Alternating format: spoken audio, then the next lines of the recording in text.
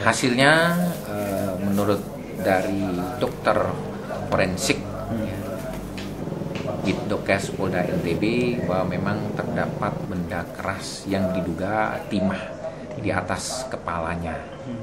Berapa lubang itu dan Satu lubang. Satu ya, lubang. terdapat lubang dengan ukuran 0,7 diameternya, kedalamannya 10,5 cm.